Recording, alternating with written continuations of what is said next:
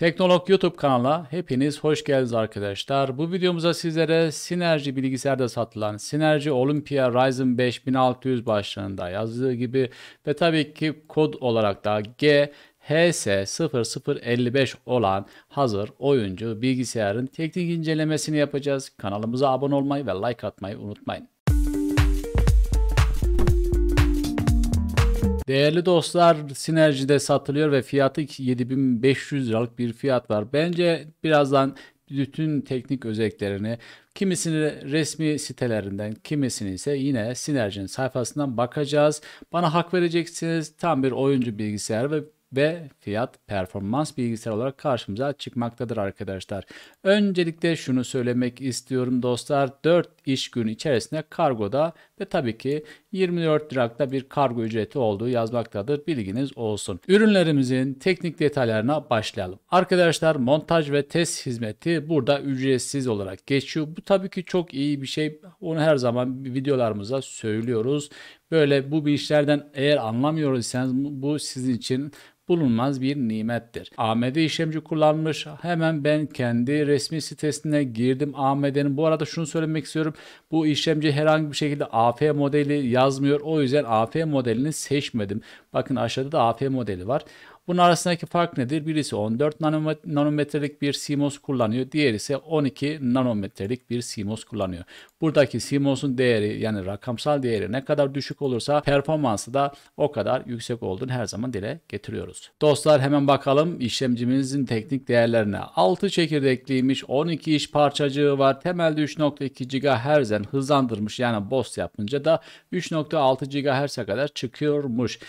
Cache bellek 16 MB görülmekte 14 nanometrelik olduğunu söylemiştik. Tabii ki TDP değeri 65 wattlık bir enerji tüketmekte ve maksimum 95 santigrat dereceye kadar da çalışma değerlerini bizlere gösteriyor. Aynı zamanda RAM olarak ise 2667 MHz'e kadar RAM desteği var ve tabii ki DDR4'leri de desteklemektir arkadaşlar. Bu işlemcimiz gayet fiyat performans bir işlemci. Birinci nesil AMD olarak geçmektedir. Gayet de uygundur. Sıradaki ürünümüz anakart. Arkadaşlar yine resmi sitesinin Asus'un sayfasına girdik. Buradaki olayımız A320 Yonga setini kullanıyor AMD tarafında. Hemen şöyle bir bakalım. Şöyle hemen sizlere göstermek istiyorum. Ürünümüz gayet iyi arkadaşlar. Yani bu sizin bütün işlerinizi görebilecek değerlere sahip. Bakalım kartımız nelerden meydana geliyor. Bir tane VGA bağlantısı var. Bir tane HDMI bağlantısı var. USB 3.0 bağlantı görüyorsunuz. Yanında iki tane, iki tane de 2.0 görüyorsunuz. Network bağlantısı var. Ses kartı bağlantısı var. Network kartın altında yine USB bağlantılar mevcut arkadaşlar. DDR4 desteği var. RAM olarak iki tane soketimiz var. AMD desteğimiz görüyorsunuz. AMD'nin 320, A320 Yonga setinin olduğunu söylemiştik. M2 desteğimiz var arkadaşlar. 3 tane porta kadar desteğimizi göstermekte. Kartımızın e, üzerinde ise ön tarafa gidecek USB bağlantılar ve tabii ki 6 gigabit per saniyelik de hard disk bağlantıları mevcut. Teknik değerlerine bakacak olursak anakartımıza buradaki ürünlerde gördüğünüz gibi birçok üründe desteğini göstermektedir arkadaşlar. Bu da ileri dönük olarak bize ikinci ve üçüncü nesil AMD işlemcilerinde desteklerini karşıladığını bizler de burada görmekteyiz. Bu da tabii ki iyi bir olay. RAM olarak ise 2 DIMM olarak maksimum 64 GB'lık RAM'e de desteğini sağlamaktadır. Sıradaki parçamız RAM Jail'ın 16 GB RAM'i var arkadaşlar. 2 tane 8'lik Evo Sipur diye geçiyor. Resmi sitesine girdim. Aynı bilgileri orada da yazıyor. O yüzden Sinerji'ye ıı, sayfasına girmeyi tercih ettim. Çünkü sonuçta bu ürünler Sinerji tarafından sağlandığı için, toplandığı için buradan gitmek daha mantıklı olacağını düşünüyoruz. Arkadaşlar hemen bakalım hemen aşağı doğru inmek istiyorum. Spir soğutuculu bir RAM ama RGB'li bir RAM değil bilginiz olsun. Hemen 3 GHz'lik bir hız frekansını yapıyor. Kapasite 16 GB gecikme değeri 16 diye geçiyor. Tabii ki buradaki olayımız şudur. Buradaki arkadaşlar 16 GB yazıyor ama bizim Sistemimizde hemen onu göstermek istiyorum. Aşağı dönelim. İki tane 8'den meydana geliyor. Yani tek bir modül değil iki tane 8 gelecek arkadaşlar. Yani tek 16 gelmeyecek. Ben sadece burada zaten başında yazıyor ama şuradaki rakam e, yani toplam olarak geçiyor arkadaşlar. Tek 8 olarak aslında yazılması gerekiyor ama buraya bu şekilde yapmışlar. Haberiniz olsun. Yani iki tane 8 GB'lık RAM geliyor. RAM de gayet uygun. Aynı zamanda Intel'in XMP 2.0 yani aşırtırmalı değerlerini karşımıza çıkartmış bulunmaktadır. Sıradaki parçamız ekran kartı. Ekran kartımız ise GTX 1660 kullanıyor arkadaşlar. Phonex'in, Asus Phonex'in. Tek fanlı, tek fanlı olduğuna bakmayın. Gayet de iyi bir olay yani fiyat performans bir ekran kartı. Ekran kartımız hemen bağlantılarına bakalım arkadaşlar. DisplayPort, HDMI port, ve DVI port var. Toplamda 3 tane port var. Bu da demek oluyor ki 3 tane aynı anda görüntü sağlayabiliriz. Teknik özelliklerine girersek de biraz daha ayrıntılı sizlere söylemek istediklerim var dostlar. 6 GB'lık ve GDDR5 teknolojisi var RAM olarak. Overclock modunda arkadaşlar normalde temelde 1530 MHz'den 1830 MHz'e kadar geliyor. Oyun modunda ise 1500 MHz'den 1800 MHz'e kadar bir hız aşıtma söz konusu. CUDA değeri her zaman söylüyoruz. Render yapacak arkadaşlar, mühendislik uygulaması kullanan arkadaşlar yakından ilgilendirmektedir. CUDA değeri odacık olarak geçiyor. 1408 tane odacıktan meydana geliyor. Bellek hızı olarak 8000 MHz'lik bir bellek var. Bellek arayüzü 192 bitlik. Çözünürlüğü ise 7680'e 4320 olarak geçiyor. Arayüzü zaten sizlere söylemiştim. Maksimum ekran desteği 3 olduğunu zaten söylemiştik arkadaşlar. Bu ekran kartımıza gayet uygun fiyat performans ekran kartları bize önerdi. Power Supply 450 Watt. Sıradaki parçamız depolama birimi hard disk. Kingston'ın bir hard diski var. A2000 modeline geçiyor arkadaşlar. NVMe, PCI Express ve SSD diye geçiyor. Buradaki hard diskimize bir bakalım. Tabii ki e, kendi sinerji sayfasına girdiğimiz zaman arkadaşlar pek fazla bilgiye ulaşamadım. Yani okuma yazma hızları var tamam amenna ama ben biraz daha sizlere bazı bilgiler vermek istiyorum. Çünkü bilginiz olsun. Sonuçta bileceğiniz ve almanız gereken bir ürün olduğu için para veriyorsunuz. Biraz daha ayrıntılı sizler için önünüze getiriyoruz. Arkadaşlar Kingston'ın kendi resmi sitesine girdim. Buradaki PDF dosyası üzerinden tabii ki İngilizce yazıyor. Bir, bir takım şeyler sizin için çevirmeye çalışacağız arkadaşlar. Okuma ve yazma hızları zaten burada okuma ve yazma hızları en maksimum olarak geçiyor. Up dediğine göre en maksimum 2200'e 2000 MB bölü saniye diye geçiyor arkadaşlar. Bu tabii ki iyi bir değer. Yani normal bir hard diskinin çok çok katı üzerinde. Aynı zamanda aşağı doğru indiğiniz zaman M2 2280 e, fa fabrika formatında üretilmiş durumdadır. Kapasite olarak bizim buradaki ürünümüzde ne kullanılıyor? 500 GB'lık kullanıyor arkadaşlar. Dolayısıyla burada 500 GB'ı görebilmekteyiz. 3DO TLC e, bir teknolojisi var, üretim teknolojisi. Hemen şuraya doğru inelim arkadaşlar. Aşağıda indim. Rastgele okuma ve yazma hızına baktığımız zaman 500 GB olarak tabii ki up to buna kadar demek istiyor. 180 bine 200 bin IOPS değeri yani verinin giriş çıkış parçacık saniyedeki hızı arkadaşlar. Paket sayısı aslında bu.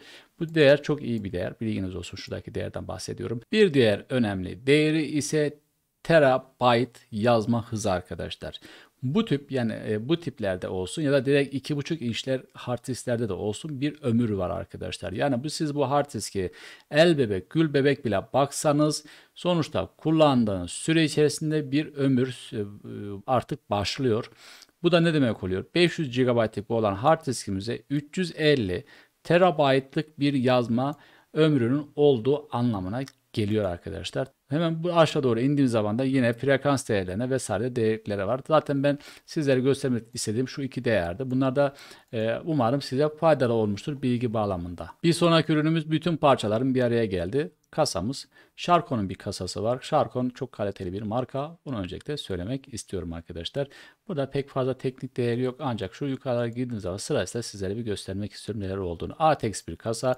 Genişleme yuvası 7 taneymiş arka tarafta. Hemen renklendirme, temperli camlar vesaireler yazıyor arkadaşlar. Asus Aurasonic ve tabii ki bütün uyumluluklar burada yer almaktadır. Dileyen arkadaşlar tabii ki, tabii ki daha ayrıntılı bakabilirler. Sharkon'un kendi resmi sitesinde 2 tane 3.5'luk ve 5 tane de 2.5 inçlik hard disk yuvaları varmış dostlar. İleriye dönük olarak yapabilirsiniz. Giriş çıkış olarak yani I.O. olarak geçiyor. Buna da üst tarafta USB 3.0 2 tane 2.0 bir tanemiş arkadaşlar. Bir tane de ses varmış üst tarafta. Buradaki bilgiler de kasanın ön tarafında olduğu anlamına gelmektedir. Ön panelde ise 3 tane adreslenebilir 120 mm'lik RGB bir fan var arkadaşlar. Hemen şu ön tarafta şu gördüğünüz gibi. Arka panelde ise bir tane yine adreslenebilir 120 mm'lik RGB fan var. Bu da arkada gördüğünüz gibi. Üst panelde ise iki tane 120 milimlik ya da iki tane 140'lık fanlar isteğe bağlı kullanabilirsiniz kasanın üst tarafında. Birazdan daha ayrıntılı fotoğraflarını sizlere gö göstereceğiz. Anakart olarak mini ITX, micro ITX, ITX ve ITX olarak geçiyor arkadaşlar. Burada da 3 farklı anakartı desteğinin var. Tabii ki burada ım, hem grafik kartın hem işlemci soğutucunun hem de güç kaynağı uzunluğunun vesairelerin ölçülerde yer almaktadır. Bu paket içeri vesaire yer alıyor arkadaşlar. Hemen galeriye bir gelelim. Galeride zaten gördüğünüz gibi gayet de iyi bir e, kasa. Şık duruyor, sağlam duruyor. Bence, bence etli duruyor, dolgun duruyor yani. Hemen şöyle bir baktığım zaman evet az önce bahsettiğim üst taraftaki bağlantı soketleri şu tarafa da istersek yine işlemcimizi ileri dönük olarak başka bir liki soğutma, radyatör falan bağlarsak bu tarafa bağlayabilir. Bunlar ızgara arkadaşlar. Hemen yan tarafa bakalım. Yan tarafta da işte tem bağlantı vesaireleri içerisinde gösteriyorsunuz. Hemen bir tane daha bakalım. Bu da diğer tarafta hemen burada bir tane şey var. Adreslenebilir RGB bir e, nasıl söyleyeyim kumanda, controller var. Arka tarafı görüyorsunuz. Şurada power supply tarafı. Ve tabii ki üst tarafta dediğim gibi ızgara tarafı var arkadaşlar. Kısacası kasa bence çok şık, çok güzel ve çok kaliteli bir kasa olarak bence bu sinerji bilgisayar iyi bir seçim yapmış. Son parçamız diyoruz. Şimdi son parçamıza e, buradaki kasada az önce baktık bir power supply söz konusu değil, bağlı değil. Yani içerisinde dahil değil. Asus'un 450 wattlık TAF'ın bir oyuncu 80 e, Plus bronzluk bir güç kaynağını koymuşlar arkadaşlar. Resmi sitesine girdim. Buradaki bilgilerin aynısı orada da yazıyor. Sonuçta hiçbir eksin olmadığı için yine ben yine sinerjiye saygı bağlamında hemen yine Sinerji'nin kendi sitesinden yürüyeceğiz arkadaşlar. Hemen baktığımız zaman fiyatın 720 olduğu yazıyor tek alırsak tabii ki. Aşağı doğru inelim arkadaşlar. Yani şöyle sizlere gösterebileceğim. 80 bronz olduğunu söylemiştik. Bu da %85'lik bir enerji e, kazanımı sağladığını anlamına gelmektedir. Aşağı doğru inelim arkadaşlar. Koruma özellikleri var. İşte yüksek akım, düşük voltaj, düşük akım, şey yüksek akım, yüksek voltaj, düşük voltaj, kısa devre koruma gibi gibi değerler de burada barındırıyor. Bunlar çok değerli, çok önemli özellikler arkadaşlar. Tehlikeli maddeler bu bir sertifika arkadaşlar. Çünkü bu üretilen ürünler, şu hemen şöyle gösterelim. Şunlar bir yarı iletken ve bunlar sonuçta kimyasal ve doğaya zararlı olabilecek maddeler içerdiği için de e, bunu da bir sertifika, sertifikasyon haline getirmişler. Tabii ki Asus bunun sertifikasını aldığı için bu ROHS diye bir anlamına geçiyor. Yani bu doğaya fazla bir zararı yok gibisinden bir şeyler koyuyor. Voltaj girişleri, voltaj çıkışları yazıyor arkadaşlar. Bir tek bir tek e, bir değeri bulamadım. Hem Asus'un resmi sitesinde hem de burada e, aktif PFC değerlerini göremedim ama e, tabii ki biz bronz değer olduğu için biz o bronz olarak aklımıza geliyor. Yani oradan bakacağız. %85'lik bir verimlilik var. Aynı zamanda da bir tane de 180, 135 milimlik bir burada bir fan olduğu anlamına gelmektedir. Dostlar bir tane de kablosuz USB bağlantılı Wi-Fi adaptörü yanında ücretsiz olarak hediye ediyorlarmış. Ben yine yine e, Synergy'nin sayfasından bakalım istedim. Sonuçta bir ufak flash bellek tarzında 2.4 GHz'lik bir çalışma frekansına sahip ve USB 2.0 arayüzüne destekliyor. E, hemen şuradan da e, 802.11 A, B, G ve N bağlantıları mevcut arkadaşlar. E, download link işte indirme 150 megabit per saniye ile yükleme işte yine 150 megabit per saniyeye kadar bir veri alım ve gönderim söz konusu. Güvenlik olarak ise bunlar da arkadaşlar tamamen şifrelendirme e, şifrelendirme ile alakalı bir durum. 64 bitte. Sadece web varmış 125. De işte web web VPA2, PS2, VPA ve PS2 diye geçiyor. Bunlar sonuçta şifrelendirme ile alakalı durum. Bunlar biliyorsunuzdur diye düşünüyorum. Ve tabii ki sertifikasyonlar mevcut burada ve diğer işletim sistemlerinde uyumlu vesaireleri yer alıyor. İçerisinde bir tane işte destek CD'si, garanti belgesi vesaire içerisine koymuşlar. Bu da e, zaten boyut olarak baktığımız zaman minnacık bir boyutu var. Bizim, bizim işimizi görür mü? Sonuçta arkadaşlar bunu dilersek e, bu e, sistemi aldığımız zaman bu sistemde kullanmayabiliriz. İstesek bu sistemde kullanmayabiliriz. İstesek de bir tane çıkartır e, kendi herhangi bir network e, notebook'umuza işte vesairemize bağlayabiliriz. Bu da bizim işimizi rahatlıkla görür. Piyasadaki değeri gördüğümüz zaman 115 liralık bir fiyat olduğu anlamına geliyor. Değerli dostlar sizler için Synergy Olympia Ryzen 5 1600 işlemcili, 16 GB RAM'li, 500 GB hard diskli ve GTX 1660 ekran kartlı hazır oyuncu sisteminin teknik incelemesini yaptık ve tabii ki çok tutulan bir kasa 7500 lira bir fiyata tekamül ediyor. Ödeme seçenekleri vesairelerine bir baktığımız zaman da tabii ki kredi kartlarının hangisi olursa olsun hepsinde bir vade farkı alıyor. Hani bunu tabii ki size kalmış bir durum. e, peşin fiyat alırsak bu taksitli e, yine tek çekim bu havale bu. Ama taksitli kredi kartını alırsak fiyatlar artıyor. Tabii ki piyasada e, daha uygun fiyata bulabilir misiniz? Ya da bu ürünü siz dışarıda toplarsanız daha uygun alır mısınız? Onu bilemem. Biraz araştırmanıza bağlı bir durum. Ama benim e, nazarımda e, gayet de uygun bir kasa hazır sistem işimizi görür. Biz bu sistemi aldığımız zaman özellikle RAM bakımına baktığımız zaman 16 GB RAM olması arkadaşlar bize bu sistemi 5, 6, 7 yıllık rahatlıkla götürebileceği anlamına gelmektedir.